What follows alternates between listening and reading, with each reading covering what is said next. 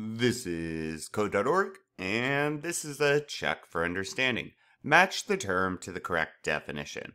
All right, so we have object, class, parameter, and argument. Cool. So, guys, keep in mind with this stuff, you want to read through it and take a guess first, and then don't hit submit yet. You should use your resources because once you hit submit, it's submitted to your teacher and you can't change it.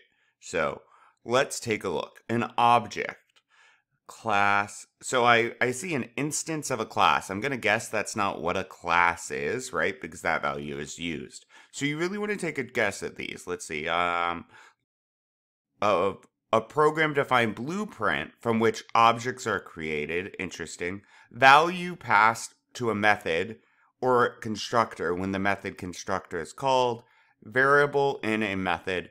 So what I'm going to do is let's go ahead and click way up here on lesson and let's use their resources.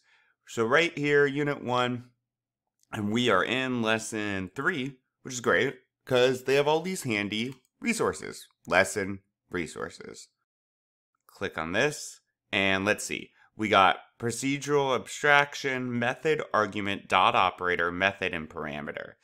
Uh, argument, argument, argument. A value passed to a method or constructor when the method constructor is or constructor is called. Yeah, when we ask for some functionality, behavior, right? So when we say paint and then in quotes we have blue in the parentheses, that is an argument. So a value passed to a method, boom, done. Let's see if they had any others in this one. They, oh, parameter, a variable in a method or constructor signature that defines the type of value to receive when the method constructor is called. All right, so a variable in a method or a constructor signature that defines the type of value to receive when the method or the constructor is called.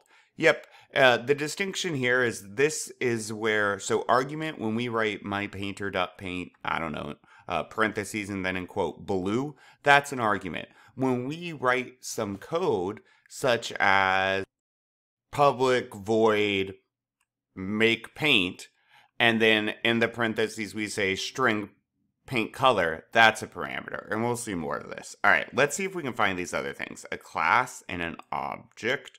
Let me go back here and let's see let's look at the neighborhoods for lesson resources.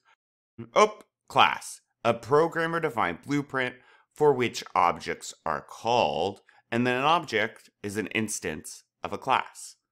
Cool. So object's an instance of a class, and the class is how we make our objects. So when we do painter, my painter equals new painter, that's the object. The class that is being used to create that object is the painter class. Make sure to use your resources and let's keep uh, going. Onward.